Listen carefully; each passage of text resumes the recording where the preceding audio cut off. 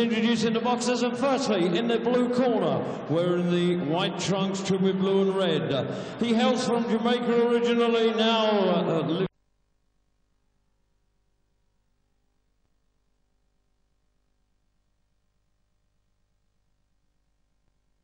fight professional.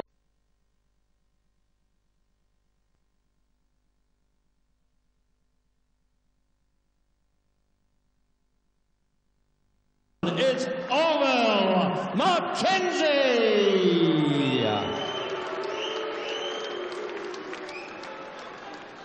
And across the ring in the red corner, wearing the white and black trunks, he's from Birtley.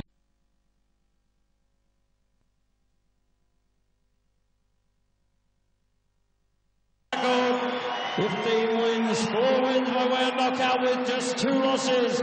Ladies and gentlemen, he enters the ring tonight as the current British Cruiserweight Champion, John Lewis Dickinson. The officials appointed for this contest by the British Boxing Board of Control. The judges scoring the contest, Mr. Phil Edwards, Mr. Steve Gray and Mr. Dave Parris. The timekeeper is Mr. Jim Holborn Jr. and the referee in charge of the action will now give his instructions to both boxers is uh, Mr. Victor Loughlin of Paisley in Scotland. Alright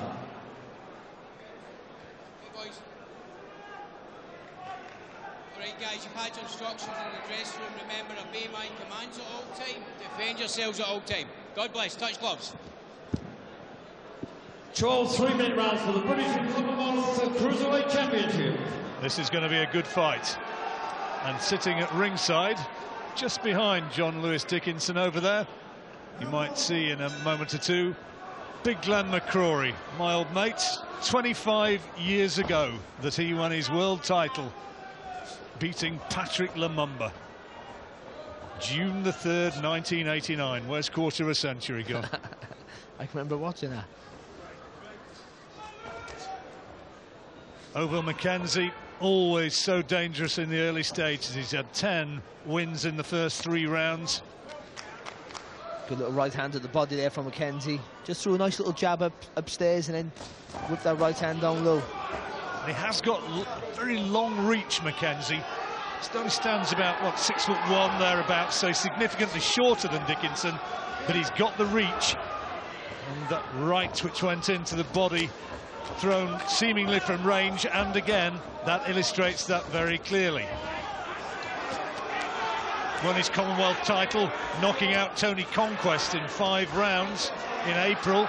And he started fast here, McKenzie. Yeah, he has there. Just had to take a little right hand himself there off Dickinson. Dickinson keeps his hands up nice and high, nice and tight. But a good positive start, most definitely there from Ovill McKenzie. Jon's brother Travis carried the uh, belt into the ring. He was the guy who was giving him a a hug before the fight began. What a fight that was against Matty Clarkson. See that one? Yeah, it was tremendous. That both both guys were tremendous. Obviously, Travis getting the win, and deservedly so, but what a great fight. Got off the canvas four times before stopping Clarkson in the sixth. They used to have quite a feisty relationship when they were young lads, apparently. Jon says he became a, a, bit nicer to him when he when he bought a car and he realised he could get a few lifts. I got a brother just like that. Again with that right hand to the body there from Ovill, but he always throws the jab first before he to try and disguise it with the jab. Tentative sort of opening from Dickinson, but this is what Tony Bellew did really in the second time that he fought McKenzie. Just kept the defence tight and just boxed him. Yeah, you know, he, he's gonna he's giving away the round or, or always come up and taken the round. This way, I get it right. But you have to can't give it over any any any chances, especially in the early rounds when he's sharper. He's at his most sharpest, so you've got to keep very compact, very tight. McKenzie's been an avoided man to some extent over his career. Not a big ticket seller, never has been, but he, well, you can see the way he's loading up here. One of those lands clean on the whiskers. He's very capable, particularly in the opening rounds, of just putting a man away with one shot. He's one of those horrible danger men, isn't he? There, you know, you feel you can outbox him maybe at times, but he's a better boxer than you give him credit for, but if he lands as well, it's good night. Mickey Duff uh, used to call him the, uh, the Who Needs Him Society, yeah. didn't he? He used to say he's a fully paid up member of the Who Needs Him Society. Good round though for Ovill. Yeah, good. And start. one in the bag. Yeah, good positive start. Came up with intent, didn't he? So we plenty of punches and landed with plenty of shots. Mm. So put it in, mate. Put it back here, mate. Just put it out. No worries. I'm happy with that. You've got a chest, you see, yeah? Yeah. Remember, we're killing this chair, we're doing our work. Killing this chair, we're doing our work, yeah? Fires and ice to the body. Two more. No rush. No rush. How long a minute is? Let's suck it up, oh. It's good work. Sit up nice. Plenty of hearing. Who've I got? Red bottom one. Yeah, I know. You're all right with that, aren't you? Yeah? Yeah. Good opening round, wasn't it, for McKenzie? Yeah, again, a good right hand to the body, but he's threw, the, like I say, he threw the jab first, threw it up, stuck it right in the face of, of Dickinson, then giving him a free shot to the body, and again landed a nice little combination. But Dickinson kept his shape. Didn't get flustered, didn't try and fire back with McKenzie. That's important. You don't want to fire back with McKenzie. You either fire first or, or react or try and counter. Never fire with him. He's too dangerous to do that.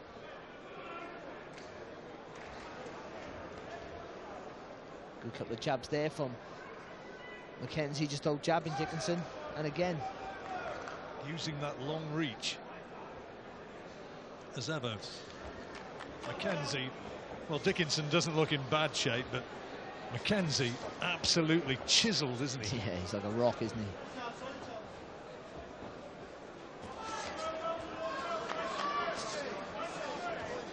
Couple of solid body shots already. Dickinson has felt the physical strength of McKenzie. Right hand going around the back of the head, and Victor Loughlin, the Scottish referee, quite rightly, is pulling him up for that.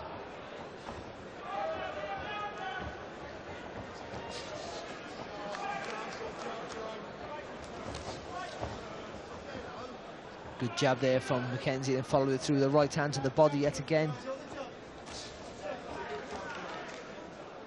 And even though Dickinson's keeping his shape well, keeping his hands up nice and high, got to be careful he doesn't just crawl into too much of a shell. In a minute, he's going to have to try and start working his own jab. Fight fraternity here in force. Billy Hardy commentating just behind me for Radio Tees. Dave Garside, he was a good heavyweight, sitting alongside the promoter, Dennis Hobson.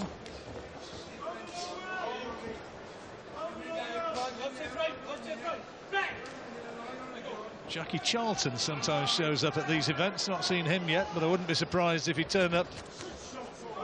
Loves his boxing, Big Jackie. It's from from Dickinson. Nice jab. Yeah, good, and a good right hand over the top, and he needed that. Need to get a little bit of a little bit of success. At the moment, it's still been all over McKenzie. Just needs to get a foothold in the fight, Dickinson, doesn't he? His fans, and there's plenty of them here. They're a bit quiet at the moment, a bit subdued. Well, he's not got to take. He's, right not to take any risks. But to, to, be fair, to McKenzie's credit, he's come out and put it right on, on Dickinson, and forced Dickinson into his shell. Nice little one-two there, though, from Dickinson in response to a lazy jab from McKenzie. It is a fact which Ovill doesn't like very much, but he's never won a fight which has gone beyond six rounds, and I think he's probably just not going as flat out and as gung-ho yeah. as he sometimes has in the past. Everything's a lot on the line here tonight, and he doesn't need to be running out of gas. But he still needs to keep Dickinson in his shell. Doesn't want to give Dickinson any more success to, to build on, to work on. Oh, lovely. Oh, he's put him down with the right hand. Right hand. Is he going to get up? Well, he looks very, very unsteady. He's still all over the place. It's all over. It is all over. And Ovill McKenzie, this unlikely story goes on and on. Commonwealth champion and now British champion as well. Well, well, well, well, well. It's a Cinderella story, isn't it? And what a great shot. Um, two cracking shots. A right hand and a left hook to follow, and really they were both heavy shots. And Dickinson could have done without one of them. To Dickinson credit, he done well to get up, but he wasn't steady. He tried to find his feet.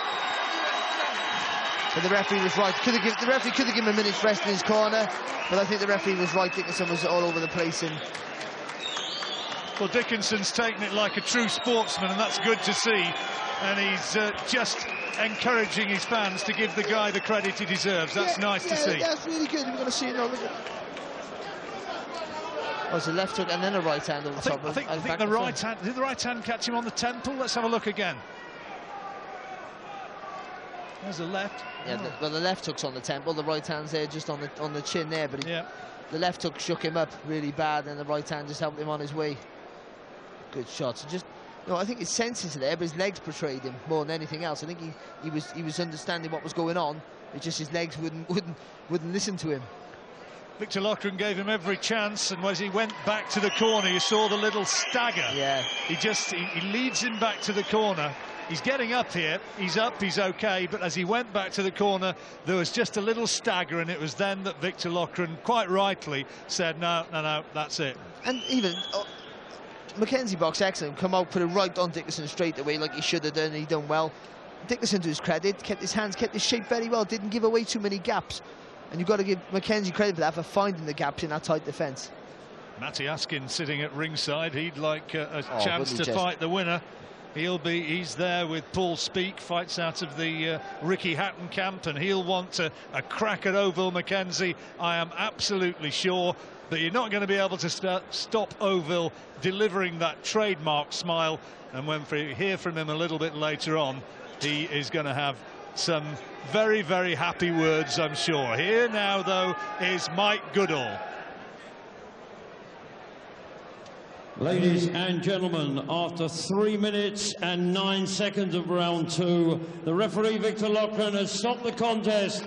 John Lewis Dickinson in no position to defend himself, leaving the winner and still cruiserweight champion of the Commonwealth and the new British cruiserweight champion, Ovill McKenzie. So that's win number 11 inside three rounds. He is uh, a lovely story. He came from a tough background, tough upbringing in Jamaica. Used to sell fruit for a living as a kid. Came over here to earn his way as a fighter. He's had ups and downs, but he's never lost his self-belief. And now he has that Lonsdale belt, and he is one very, very happy boy.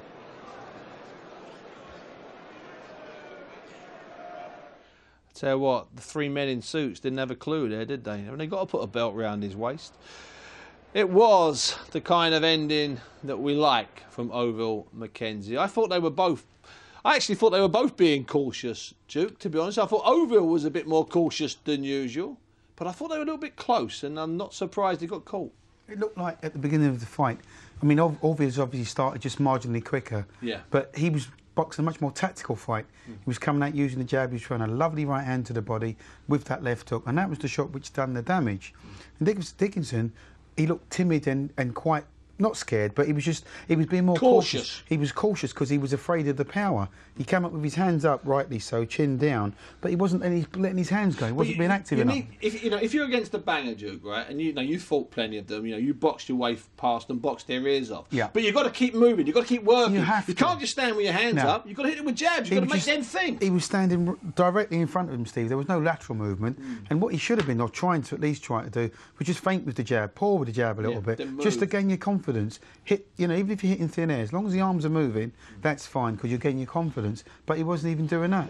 Were you a bit surprised by the ending, Steve? I know we shouldn't never be a surprised, surprise. by I, I mean, I, I, I thought, m- m- did- but in the last fight, did Dickinson not wait a bit for Dawson to blow himself out? Was, was he not going with the same mindset? But no, you can never be surprised when Ovill finishes a fight from from nothing because although he, he'd been winning the fight, there was no sign of that was to come. I mean, he said it would be a right hand that would finish it in the interview. It was mean, the left, I think, that. See, if you actually look at that, when it, when Ovill delivers the first left hook, his feet are inside Jon-Lewis Dickinson's feet.